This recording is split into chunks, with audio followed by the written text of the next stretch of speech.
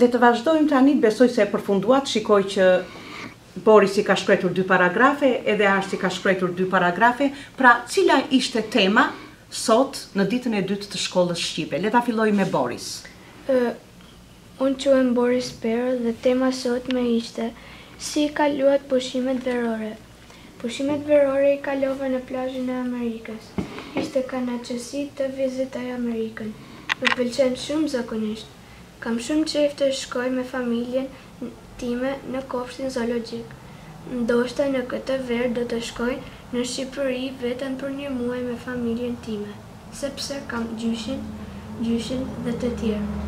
Kështu që ndoshta do të shkoj t'i vizitoj se më ka marrë malli dhe nuk duroj të shkoj. Sa bukur, më ke prekur shumë, sa shumë që i do gjyshrit, edhe gjyshrit mezi po të presin, të jesh i sigurt. Edhe të uroj një udhëtim të mbarë atje, jepu një përqafim gjyshërve dhe ata të jesh i sigurt se krenohen shumë që ti ke ardhur pranë shkollës shqipe Alba Life ta vazhdosh mësimin e gjuhës shqipe. Të lumtë, të lumtë. Nxënësi tjetër? Ars. Unë jam, unë jam Arsi Muta. Tema për sot është si i kaluat pushimet verore?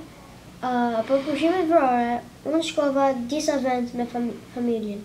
Shkova në Bronx Zoo, shkova në një vend si lun me trampolinë dhe shkova shumë në shumë në plazh me me mamin dhe vllanë. Disa herë disa herë me krejt familjen.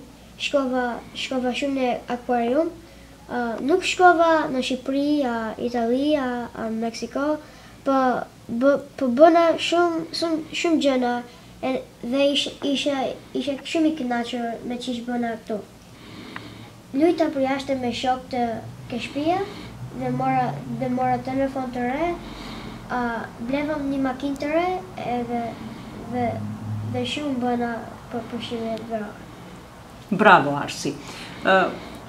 Pra, e shikon Boris që Arsi e përdor edhe ndonjëherë dialektin të Dibrës, sepse është me gjyshrit dibranë dhe bëna shumë thotë.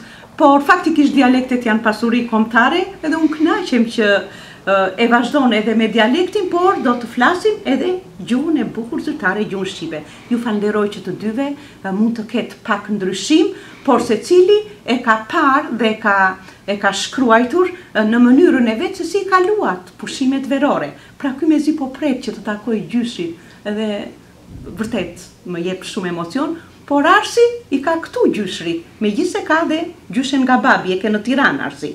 Besoj që ju do të shkoni vitin tjetër në Shqipëri. Mirë, faleminderit shumë dhe shumë suksese. Faleminderit.